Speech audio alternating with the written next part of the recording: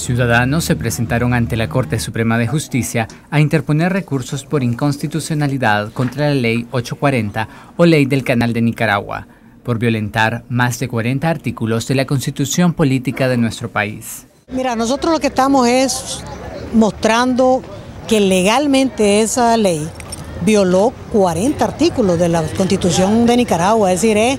la ley más vendepatria y corrupta que se ha producido en Nicaragua en toda su historia. Y eso evidencia el carácter de vendepatria de Daniel Ortega. Es decir, se violaron prácticamente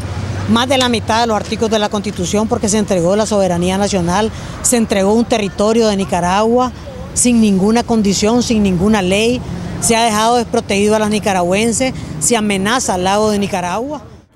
Con este recurso interpuesto por un grupo de personas provenientes de los departamentos de Masaya, Managua, Estelí y Matagalpa, suman ya 11 recursos por inconstitucionalidad que se han presentado contra la Ley 840, según informó Rubén Montenegro, secretario general de la Corte Suprema de Justicia.